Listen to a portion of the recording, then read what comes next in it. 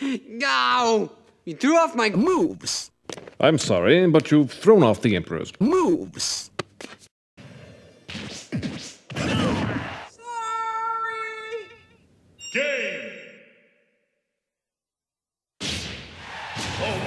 What's his name?